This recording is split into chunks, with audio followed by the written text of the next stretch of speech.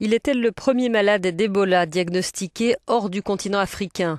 Le Libérien Thomas Eric Duncan est décédé à l'hôpital de Dallas, au Texas. L'homme a déclaré la maladie sur le sol américain une dizaine de jours après son arrivée en provenance du Libéria. C'est dans ce pays qu'il a contracté le virus en portant assistance à une malade. Il a développé les symptômes de la fièvre hémorragique quatre jours avant son hospitalisation et son placement en quarantaine le 28 septembre dernier. C'est pendant cette période qu'il était potentiellement contagieux.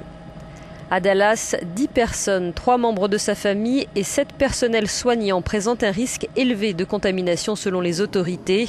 Au total, une cinquantaine de personnes sont sous étroite surveillance. Notre correspondant à Washington relaie l'inquiétude de la population. Le niveau d'anxiété était déjà élevé parmi les Américains, dit-il, et ce mort au Texas attise encore les peurs autour d'Ebola. Malgré les assurances des autorités que le virus est sous contrôle, j'ai entendu des gens s'interroger sur le fait d'emprunter les transports en commun ou d'envoyer leurs enfants à l'école. Ce n'est pas encore la panique, mais la nervosité. Washington.